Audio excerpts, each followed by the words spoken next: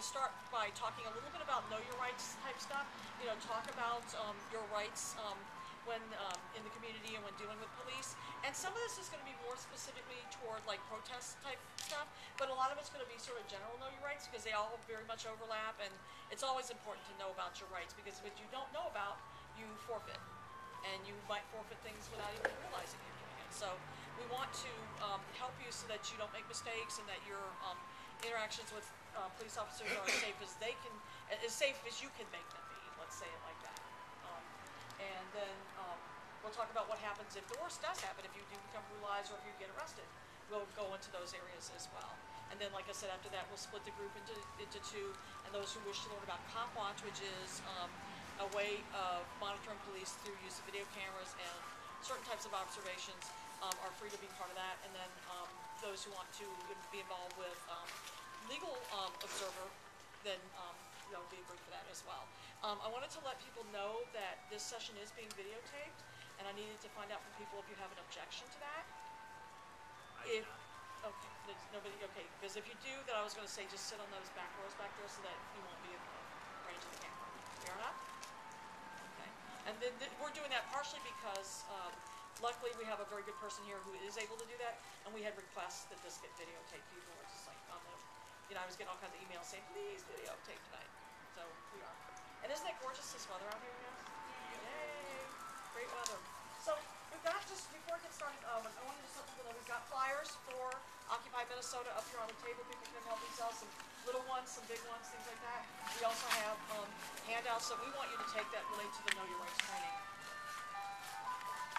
And what I wanna start with is, um, we might have to wait a minute here, I think the ice truck is, uh, gonna trump us a little bit on our, uh, training. Can we get uh, some video of the ice cream? truck? Yeah, but I'll. Thank you.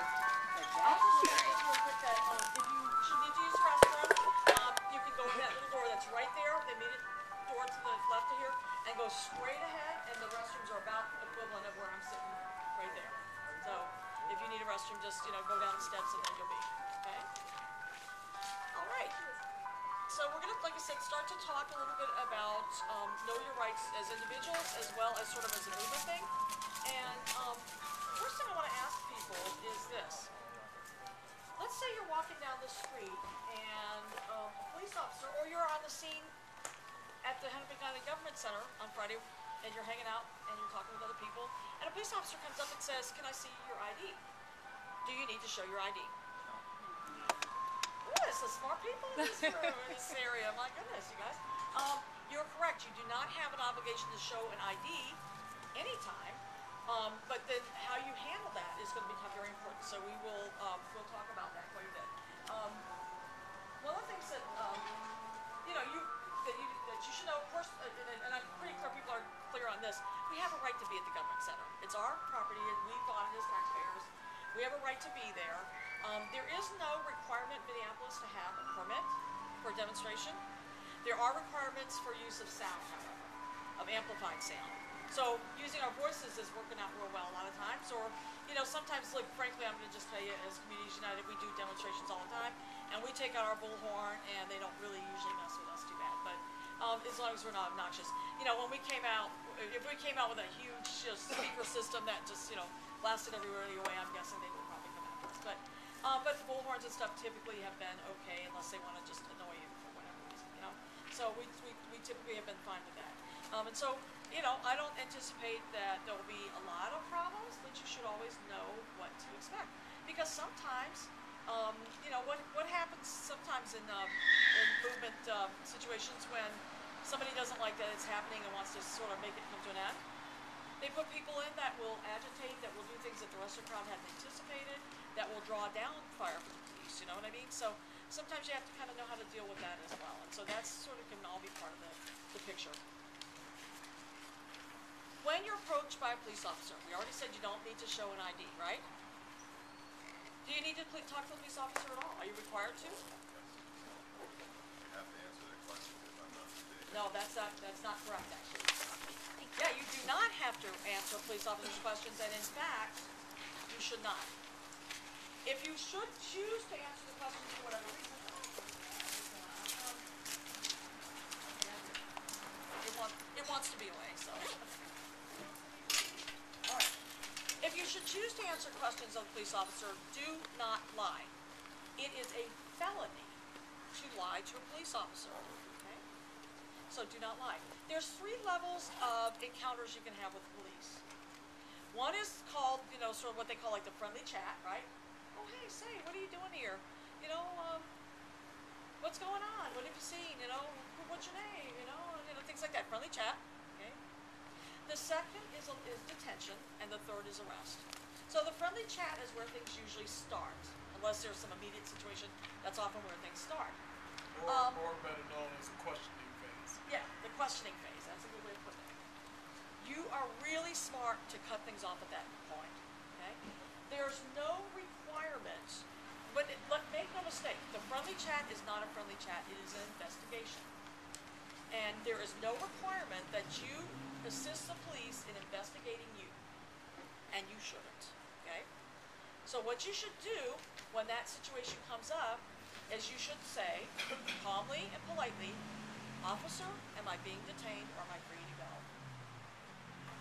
And that will tell you what level you're at. If the officer says, Well, I just wanted to talk to you, they probably won't say, No, you're not being detained, you're free to go. They'll probably say, Well, I just want to talk to you. And then you say, No, thank you, officer, I'll be leaving now. And you leave. Do you even have to say anything at that point once he says, I just wanted to talk to you? No, you just say, You could "Oh, just literally just walk away, right? Yeah, you could. Um, I usually try to be a little polite so that they don't get pissed off and do something. You know, so usually I'll say, okay, well, thanks, then, and I'll just leave. You know, I don't give them anything. I don't want to answer their questions. I don't want to tell them where I'm going, where I've been, what my name is, any of this stuff. People have a lot of funny ideas about like, well, I'm not doing anything wrong, so what's the difference? You know, it doesn't matter. Police are investigating. They're not there to be your friend or be your, you know, buddy or anything like that. They're there to investigate whether or not a crime exists and whether there can be people arrested for that crime. You don't need to help them do it. And you definitely, you know, people often think, well, if I'm not doing anything wrong, it shouldn't make any difference at all. It makes every difference because you don't know what you could say that could trip them to ask more questions, to get other people involved and things like that. We don't talk to police, period. Unless you happen to be the liaison or something. If there's some assigned liaison, that's a different story. But if you're just one of the run-of-the-mill folks that's there at the event, you don't talk to the police. If you're just walking down the sidewalk, you know, you don't talk to the police. You just don't. This may be changing the subject a little bit, but what about like when they're they've infiltrated and they're like undercover and they're like listening to the group? Like they're probably at the meetings in Stevens Square, for Oh, example. well, I'm pretty sure. So, there might be I somebody mean- sitting here for all we know. yeah, right? exactly. So, I mean, at that point, like, are, how how Here's how I've cho- chosen to. I've been involved in the movement um, in one capacity or another for probably 35 years, and I've chosen to be open about the work that I do, and to, you know, never um, talk about things that might put anyone at risk in an open meeting. That if we decided we were going to shut down some place or something like that or whatever, or whatever, that we would have that conversation with only with people that we knew extremely well and that we trusted extremely well. Is that a foolproof thing? Probably not, but most of the stuff that I do is kind of above board, so it doesn't really, you know, fall in that in that capacity. It's stuff that, you know, we've done things that we shut down city council before the RNC, you know, and things like that. We talked about it pretty openly. We didn't like make a big production about it, but yeah, depends on what you're talking about. If, if you do extend a conversation with them and it goes beyond where you wanted to go, then you just want to answer questions with questions. okay? Because the more that you're talking to them, the more that you're insisting in their investigation. So if, if, if they just approached you and where you coming from? A lot of people will say, well, I'm just coming from my friend's house. Now you're adding to that investigation. Now you're about to get questioned a lot more. Right. And then you're going to get double teamed by two officers, which is going to confuse you. So what you want to do in that situation, you just want, why would you ask me that? Yeah, answer Why, a question. why would you ask me? Why would you ask me where I'm coming from? I'm a person of this community. Why you ask me where I'm coming from? It's my right to walk in this community. So you just want to throw questions at them. Because if you're answering questions, you're pretty much going to get yourself in trouble. So just answer a question with a question. Why? You know, why would you need to know? So the, the second level in which you can be held by, you know, or encounter with a police officer is a detention.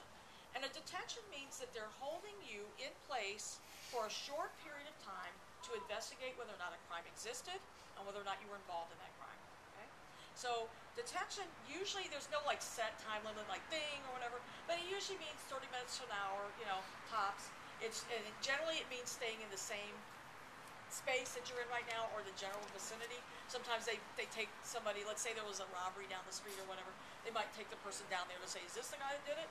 That kind of stuff. But generally it means, you know, you're in the same place, okay? If they move you to another place, you're under arrest, okay? They, might not say you're under arrest. They may not tell you, you're just under arrest. If they stick in the back of the squad car and you're gone, you are under arrest.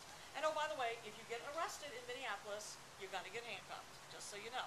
That's police officer, that's their, that's their policy. In fact, they would actually get in trouble if they didn't handcuff you, because that's their policy. That doesn't mean they have to handcuff you behind the back. They do it, and most people comply with it. I refuse it. I, because I have a bad shoulder and I'm not going to be in pain for many days afterwards just because of foolishness. So uh, when we got, you know, got detained and, and or arrested at the RNC, made them do it in front. You can request that then? I told him, I said, you know what, if you don't, if you handcuff me behind me, my back, I will sue that hell out you, just let you know. Yeah, I, I got arrested in Florida a couple And times. usually I because of my age, they tend to be a little deferential. you. Yeah, but I actually use two sets of handcuffs, just cause you know, I'm, I'm, I'm a big guy. Yeah, and that, but I, I'm just not gonna let them injure my shoulder or anything like that. There's things that, and I think you had the same thing when you got detained at the Virgin Center. You told them, to put your handcuffs in the front or else, you know? And so I kinda just let them know it's gonna be like that. But you will get handcuffed. Expect that if you would get, you know, arrested. Um, and like I said, if you're in the back of the squad car, it's a done deal. You are arrested. But what do they always do on TV, like on these cop shows, or whatever, on TV when they arrest people? Yeah, they do their Miranda thing, right? You have a right to remain silent, blah, blah, blah. Everybody almost knows that by heart, right? Guess what? They don't have to do that. All the time people in communities, Communities United is, has been around for about ten years, and we have a hotline, and people contact us when they've been brutalized by police, and they come to us and they say things like, and they didn't even read me my rights. Okay? That's a fallacy that they have to read you your rights when you get arrested. That's not so. Reading you your Miranda rights has to do with formal interrogations, not with arrests. So arresting you has nothing to do with Miranda. They don't have to tell you what your rights are. So that's why you need to know your rights on your own without waiting for them to tell you what they are. You know, they're just not going to tell them to you, and they're, you know, except under narrow circumstances. And so, one of the things that they do to avoid dealing with Miranda, as well as having to tape the, the conversation, is they simply don't have formal interrogations. They just ask you questions, friendly questions. And again, we're not going to insist them in investigating us, and so we don't answer those questions, okay? But we're, I'm getting jumping ahead a little bit. Um, we'll talk more about what happens if you get arrested. But those are like the three levels of encounters with police, and it always starts with a friendly conversation, and you don't need to engage in it. Will they tell you if you're being detained? If you say, am I being detained? They'll say, yeah, you're being detained. Will, if they're actually arresting you, will they? They won't tell They you, might but tell you you. may ask. You can say, am I being detained or am I free to go? And then they'll say, put your hands behind your back, you're Am I under arrest, or whatever. Stand. Or, or what they'll do is, they'll, they'll put you in a squad car and just drive you around even though you're not being arrested. And then that's gonna scare you into answering questions. Doesn't that fall under unlawful detention? It should, yeah, but, But they do unlawful stuff every day. yeah, Wait, yeah, that's It's like, true, you can't lie to them, but they can lie to you yeah. and make false arrest reports and everything else. So the more rights that you know of asserting your rights, the better, the better off you are. No.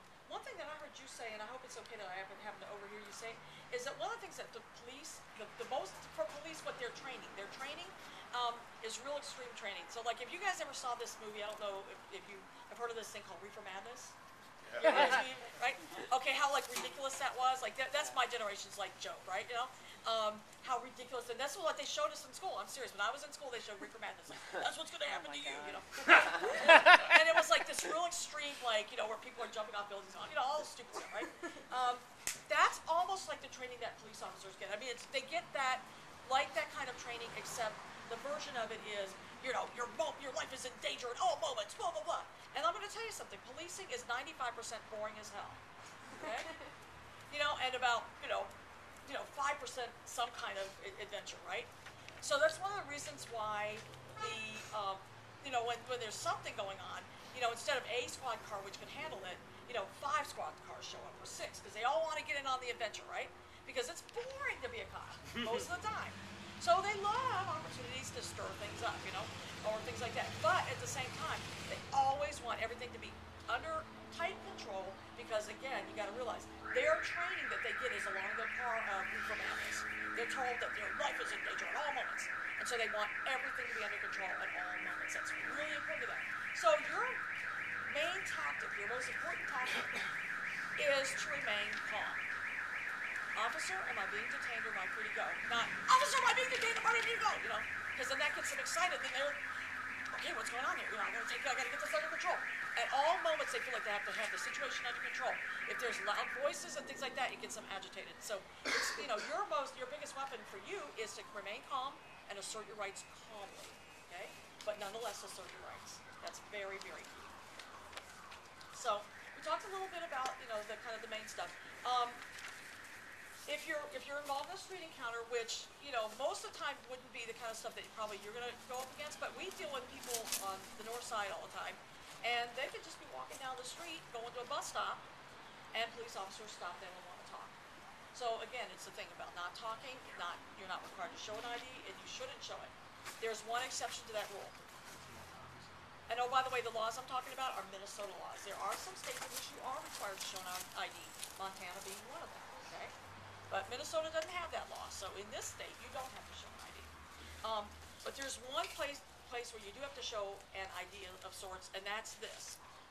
If you get pulled over for a traffic stop and you're the driver, driving in this state is, and in all states, is a privilege, not a right. If you get pulled over for a traffic stop, you must show driver's license, insurance, registration, you know the drill, right? And you gotta do that, that's just, that's just a deal. So if you're bicycling, If you're bicycling, bicycles fall in a weird space between car and, and pedestrian. Um, you are not required, however, to have a license to bicycle. So you are not required to show a driver's license for bicycling. But you are required to follow traffic laws. So it's tied to, pri- not tied to a Bicycle riding is different, it, it's different and it's the same. On the one hand, you're required to follow traffic law. On the other hand, there is no license for driving a bike, so you don't, wouldn't have one to show. You also aren't required to have an ID on you. This is not Soweto. You know, you don't have to go through the pass codes and whatever, right? And the you know, all that. We don't have any of that here.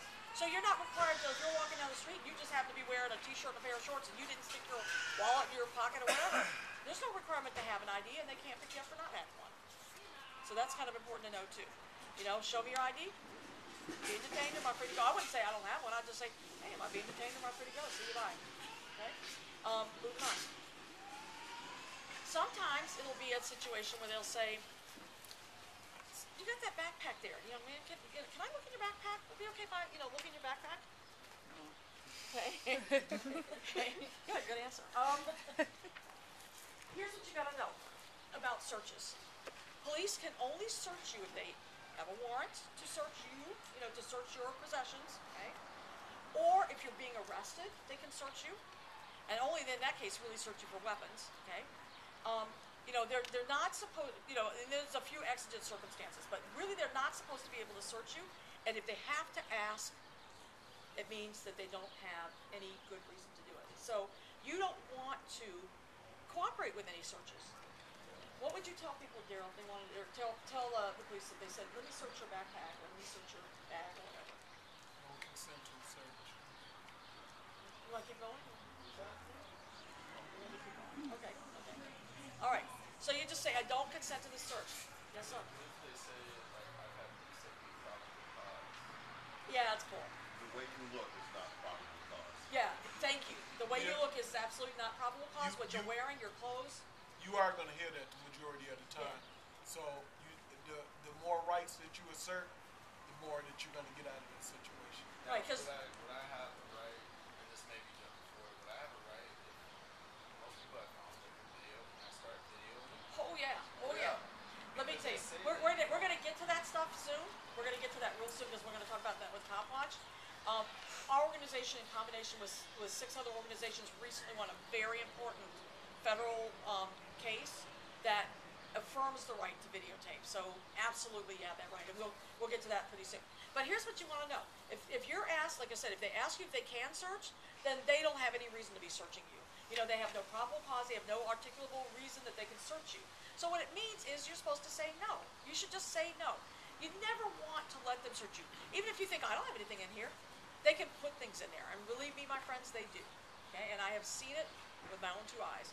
Um, I will tell you something else. Um, you, uh, you want, you want to say it in a very firm way. If they say something like, um, it's okay if we search this, you don't have anything in here, don't say, uh-uh.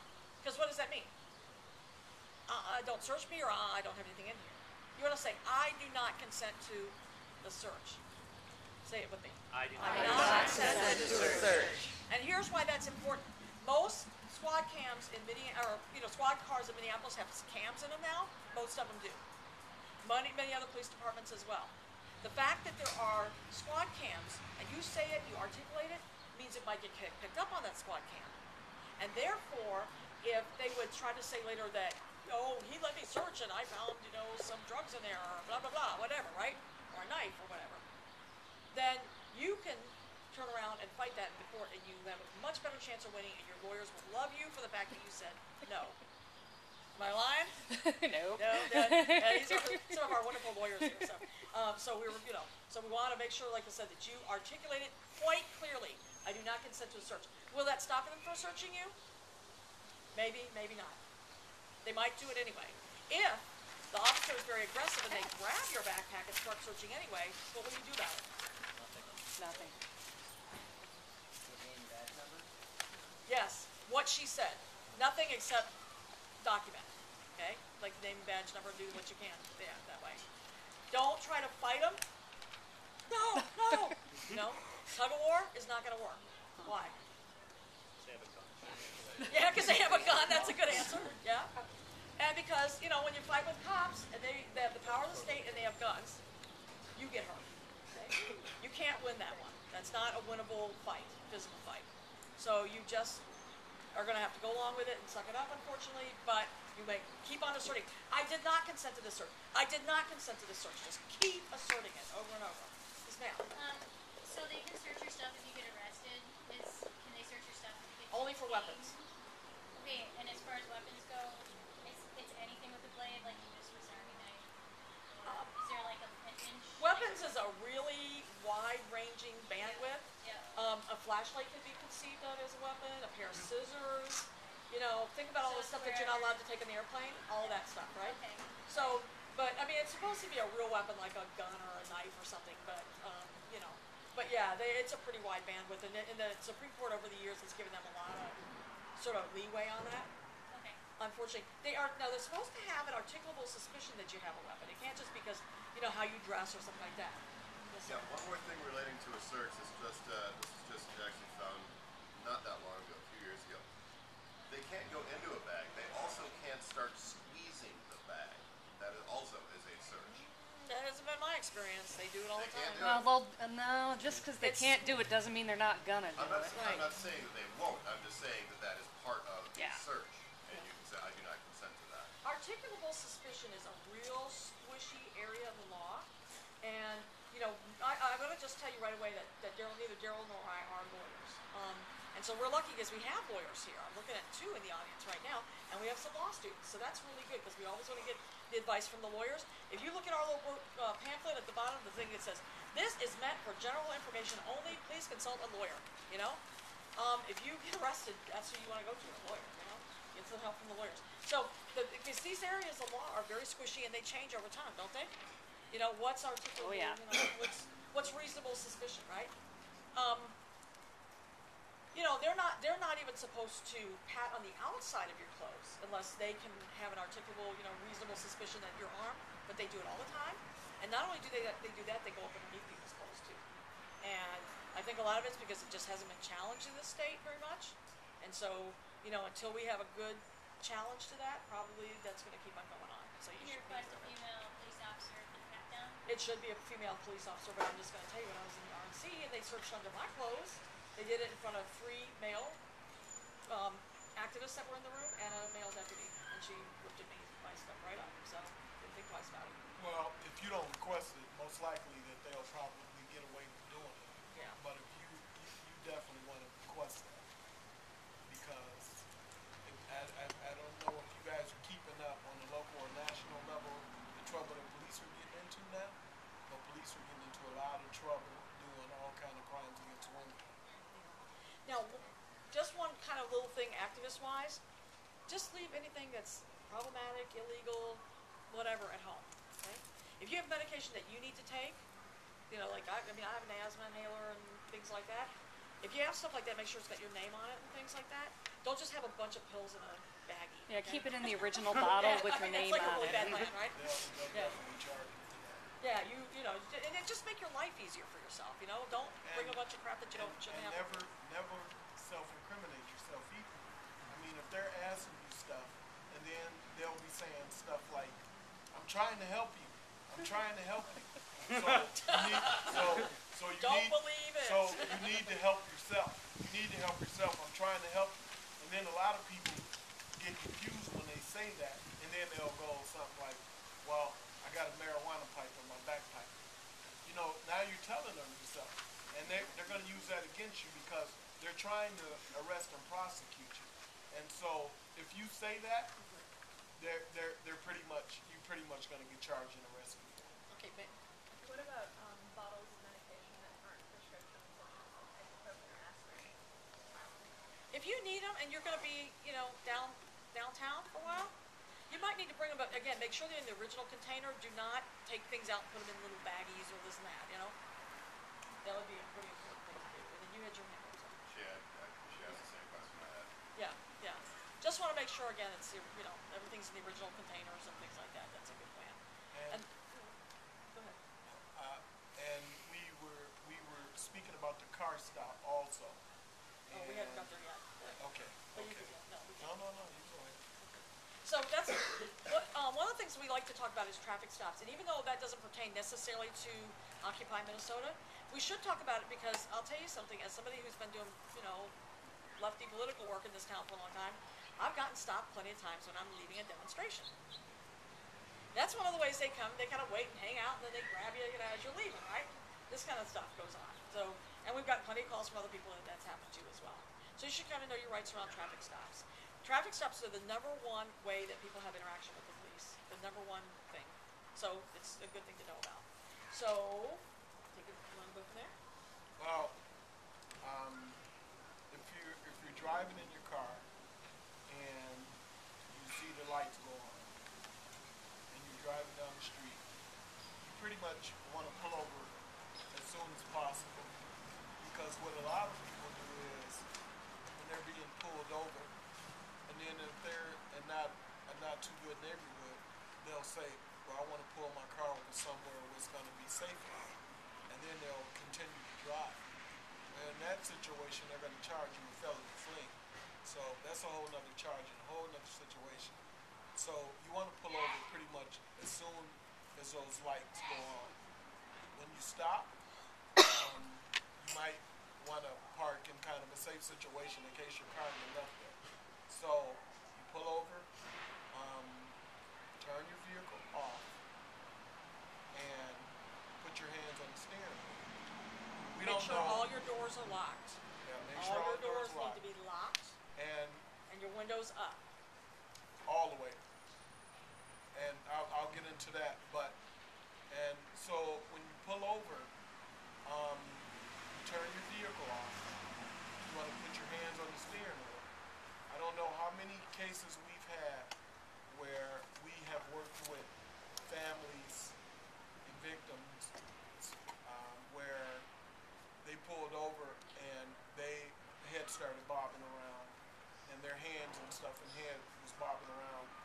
And and not because they were doing anything criminal because they were looking for their driver's license or they were looking for their insurance or something like that. And the police can use that any way they want to and we've had people shot so you want to keep that that that particular stop as safe as you can so you want to put your hand and you pretty much want to let the officer come up to you and ask what he wants so you can hand it to him. And then once one gonna say, you drive a car without power windows, um, you have windows rolled up when he walks up. Well, it, it, it, it, it doesn't matter. I mean, if they're power, if it's you, but if you let down the window, you only want to let it down to about six or eight inches. Not even. You don't, Like a little you bit. don't, you don't, Just that you don't, much. you don't want to give them enough room where they're gonna be sticking their head in the vehicle and smelling around and sniffing around the rear. You want to, just enough room where you can pass your documents out the window, and if they write you a citation, or whatever, where you can pass it through there. That's the room that you want to leave, where you can conduct your business. You don't want to raise your, and a lot of people do that, they just raise it all the way down, and you're just gonna run into problems. Yeah, you want like, you know, like that much, that's all you need, okay? Don't crank it all the way, I mean, I don't have power windows either, I have, you know, crank thing, cause I'm old school, but, um, you know, that's all you need, that's really what you wanna do. Yeah. Um, are they ever allowed to request that? Because I, I was pulled over one time and they requested that I get out of the vehicle and sit in the front seat with him while he. They do it all the time. Really? Yeah, they do it, they do it, um, I'm not sure why they decide to do that, and I think it's a creepy function Yeah. when they do it. Uh, especially when they do it to women, I'm very Yeah. disturbed when they do it, and a lot of times I think they do it for nefarious reasons, Yeah. you know, But, improper but, reasons. but it, but also, Yeah, but also in that situation, um, a lot of people, when they do that, the people just exit their vehicle and just leave it open. Now they're gonna go in and search the vehicle. So, when you exit your vehicle, make sure all your doors are locked. And then if they ask you, they go, well, why did you do that? Sir, I want my vehicle, you say. I was at, I was trying to tell him that I didn't want to because I was scared. I was like in the middle of nowhere at like midnight. oh wow, I that's, was that's very that's creepy. Like, I thought I was gonna die. but like, you know, like, and so I was trying to tell him that I didn't believe he was an officer and all that stuff, and I was like, you know, because it was scary. And then, but he, but he said that I had to do that. I had to sit there with him and everything. I- Is there anything you can do in that situation where, you know, being a woman and being somewhere where there's I no would- other cars around? Here's what I would have done in that situation, rolled up my, rolled up my window all the way, made sure all my doors were locked and called nine one one. And say, I have an officer here that he claims he's a police officer and he's insisting I get out of the car and sit in the front seat with him. I'm very uncomfortable and I want another officer over here. There's no way in God's green earth I would get in the car with an officer like that. Yeah. Okay. You know, there's just not, it's not, that's not gonna happen. So, And pretty much when they're, once they start questioning you and then they ask you, uh, they're gonna ask you for your driver's license, your proof of insurance, and maybe your registration. So you wanna give them that information. Um, I tell you, because I've been dealt this blow so many times, is that when they pull you over, chances are they wanna tow that vehicle. That's a whole nother scam for them. It's a whole nother scam yeah, for them. there's a big issue in And Minneapolis with we've been seeing them towing cars without even charging people or writing a citation. They're towing. That's- Yes, that's exactly what it is. And the tow company and the city makes money by taking it to the impound lot. Yeah, So it's a big scam. so you definitely, you definitely don't wanna play into that. Um, but, and chances are, they're gonna try to, um, conduct some kind of, some type of search in that situation. And it's a, it's a law, and it's called the plain view rule. And if nothing is out in plain view, and what I mean by plain view is if something is sitting on the seat of the car, on the floor of the car, that's out in plain view, and if it's something that they can tie to a crime, you're gonna get the vehicle searched, and you're gonna get the car towed. But it's nothing out in plain view, and then they start questioning you, like, well, we got, some, you, you're in the high narcotic, um, you're in the high narcotic drug area, and, uh, we just wanna search your vehicle. What are you guys gonna say? Alright, alright. You know, Okay. um, who here's had a traffic stop? Probably not. Most of the people see, because this is the number one way that people inter- interact with the police, right? What's the first thing they say when they come up to your vehicle? Why I pulled you over? Yeah. Do you know why I pulled you over? What do you think they're trying to do when they ask you that question? They, they, Well, they like to mention. What's that? They're trying to get you to confess like yourself. That's exactly right. Make an incriminating statement. So your correct response would be, no. Why did you pull me over? Good. That's exactly right. You don't ever, again, it's always about answering the question with a question. No, why did you pull me over? Do you know how fast you were going? That's one they often ask, right? What are you gonna answer to that one? How fast? How fast was I going? Yeah, or, you know, no, Oh, tell me, you tell me, you know? If you say no instead of time of driving, you say yes, you incriminated yourself. Yeah, yeah, exactly right. Well, and um, I've been to a few different states. I'm sorry, I can hardly hear you, sir. I live in a few different states. I'm from North Carolina, and I've literally had cops tell me, "Are you Go what? Stupid. They ask me if I'm stupid. Like you should know why I you. Well, again, it's about They- them they- trying to they're just trying to intimidate get you to into commit to confessing. yeah. Yeah, it doesn't matter, it doesn't matter.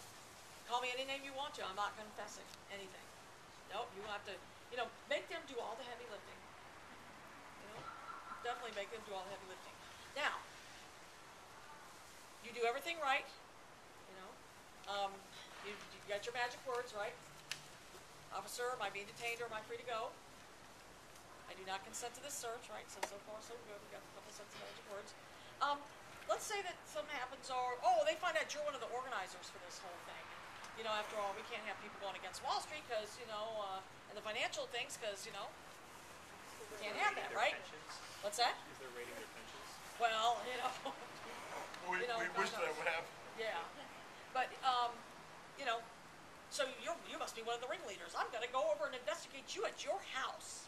And I'm gonna show up at your house and talk to you. Oh, no, you're not. Okay, so there's an officer knocking on your door. What are you gonna do about it? Okay, so I'm come back with. What are your rights in that situation? Can you, does, do you have to let that officer in? No. No. No. And let me tell you something, you're really smart if you do this. Don't answer that door, go to a different door, let yourself out that different door and lock yourself out of your house. Okay, I mean, put your keys in your pocket, obviously, but lock the door, right? Behind you. Walk around to that door, say, oh, oh, are you knocking on my door? You know, act very innocent and things like that. You, because here's what we find, what we have dealt with in many, many, many cases, where the person doesn't, they don't have a warrant, they don't have any good reason to come in that house, but if the person cracks the door a little, what do you think the officer does? Yeah, stick their foot in the door and does this, and jams their way in. You don't mind if I come in, do you? Then they're already in your living room before you say no. Okay, so your best bet, if you if you have like a little window on your door, that's great. I used to have little French doors next to my main door, and I would just open them and talk through that. No, can't come in my house. You know, I had the FBI show up my house one time when I was in New Orleans, and it's like, no, not today. You won't be coming to my house. Thanks anyway. Have a nice day. You know, we don't talk to the FBI. We don't talk to cops. Yes, ma'am. Okay, that's, yeah, that does happen sometimes. Um, then you can just talk to them through the door.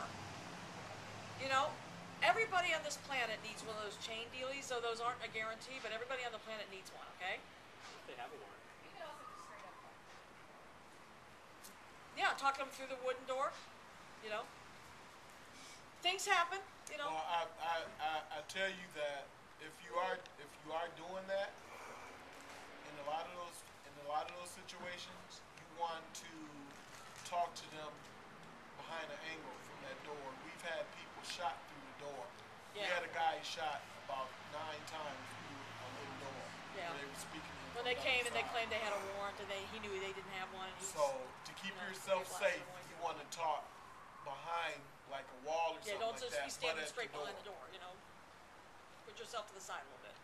And what were you asking, if they have a warrant? If they have a warrant. Okay, if they have a warrant, you have to open your door for them, but you don't have to let them in until you read the warrant. Make sure you read the warrant and make sure it has your address, and make sure that it is signed by a judge. It's not just a piece of paper with your address on it. That's a warrant that looks like one. It's gotta be signed by a judge. Now, there's two kind of warrants in the world. There's a people warrant and a search warrant, okay? A people warrant means they showed up to arrest somebody, okay? You can say, that person's not here, and they're not supposed to come in, but I'm gonna tell you, they almost always do. They just bully their way on in and they look. But you can, you know, you should, and if they're moving from room to room, make sure you look with, you go from room to room with them. We had a situation where they were looking for a guy, and they came to his mom's house, and they started going from room to room, and they were looking in desk drawers.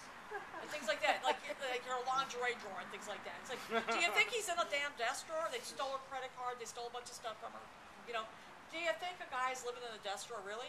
You know, they shouldn't Or, be looking or at what things. they'll do in that situation is they'll be searching and stuff, and the occupants of that, that resident will not be with them, and they'll be stashing stuff so they can come back and search again and find it. Yeah, that's the other thing, that did happen in one of the places we worked on also, one of the apartments. Um, so that's a, a kind of a, a, you know, a thing, you really, really, your house is supposed to be your most, you know, protected place, but they, you know, can violate it if you don't know. But if it's a search warrant, like I said, so people search, move from room to room, you know? Search, um, an actual search warrant for goods that they wanna look for, for materials and, and, um, and evidence, that kind of a search warrant. Um, you cannot stop them from taking your stuff. I'm so sorry to tell you that, but you have to let them take the stuff, but make sure you are running around writing everything down that they took. Make sure that you're going again from room to room with them. None of this, you know, you know, just sitting there waiting for them to get done.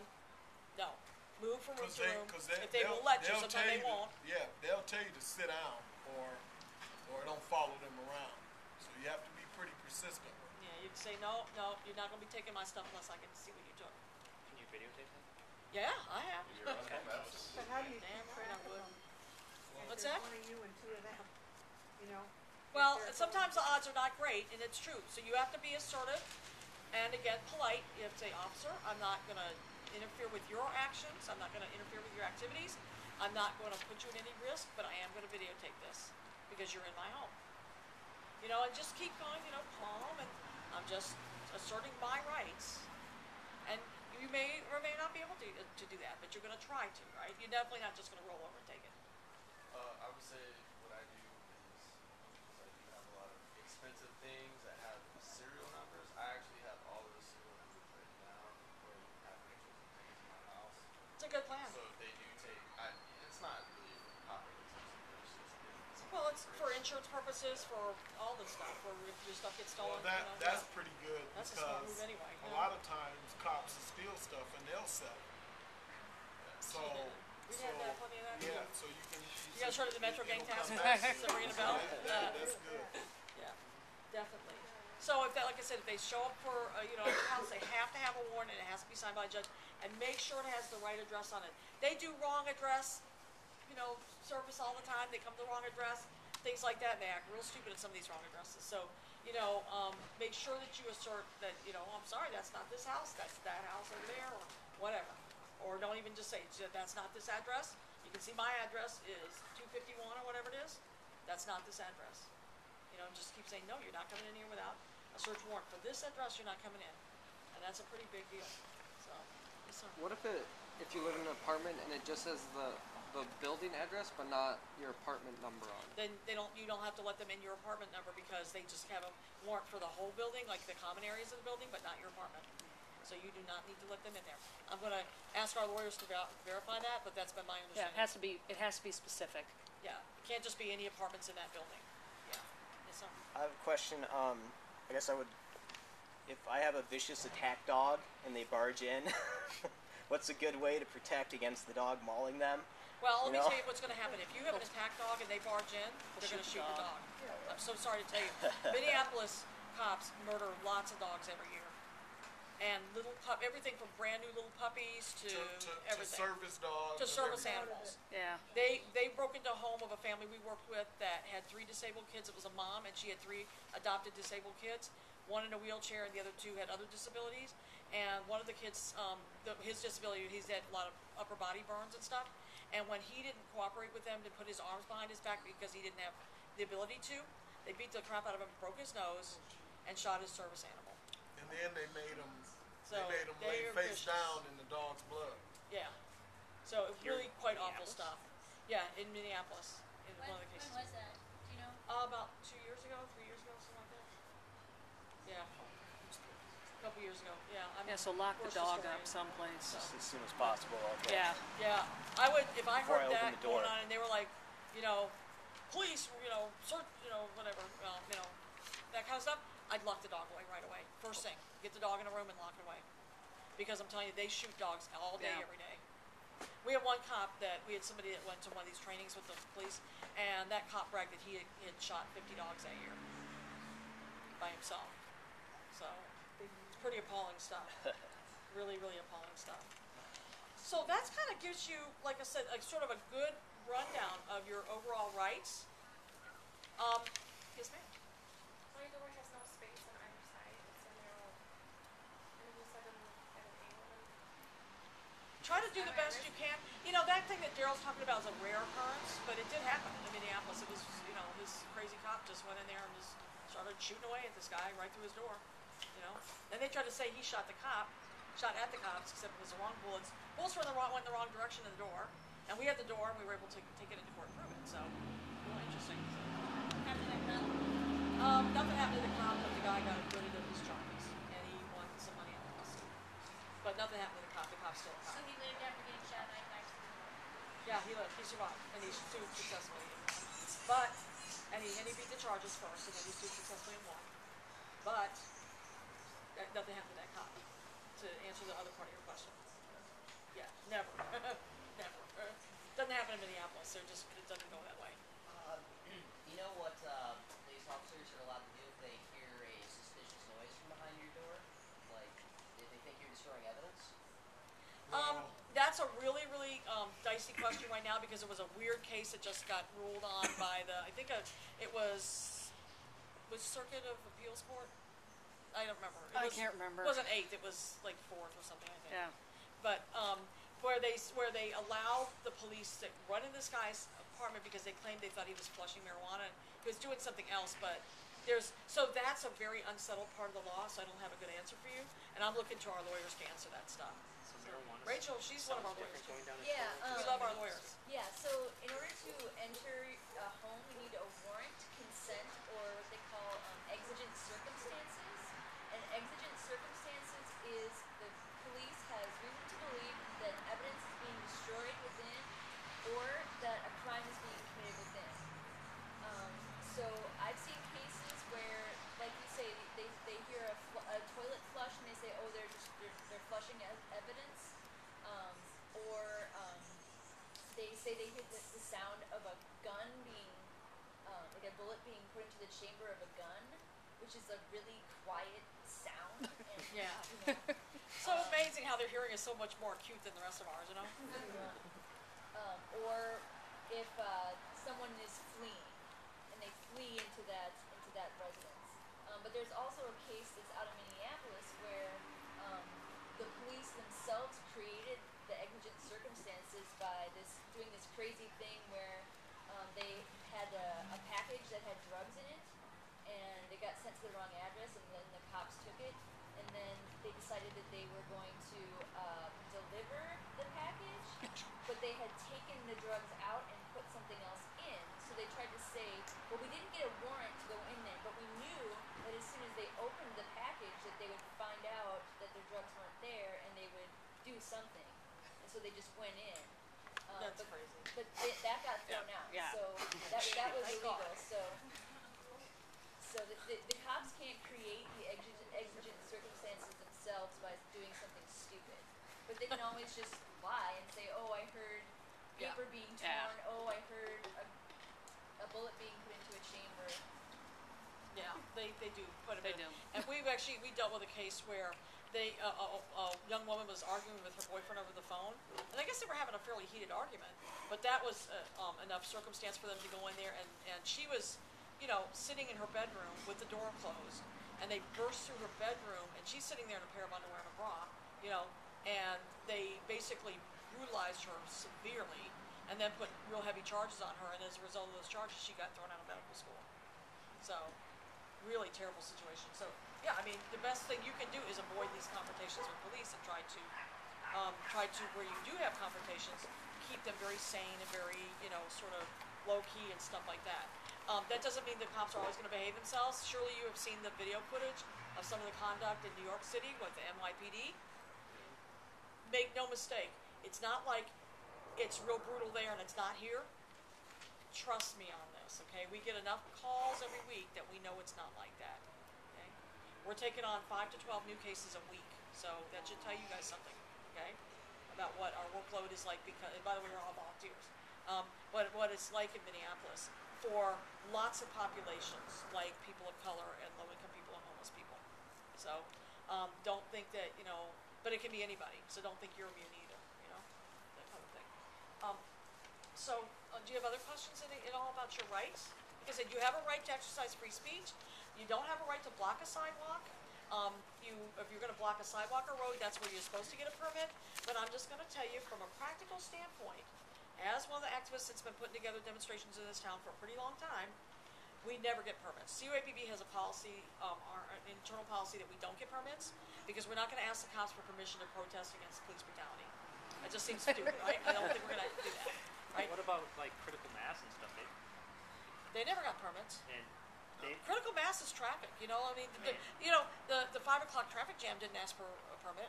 right, exactly. You know what I I mean? guess I don't understand. I mean, so is, if you're moving, how are you blocking it? Well, you know, That's police discussion. engaged in a lot of misconduct around critical mass, and we worked on a lot of those yeah, cases. I, yeah. Yeah, over I've, and over. I've witnessed a lot of it. Yeah, but- and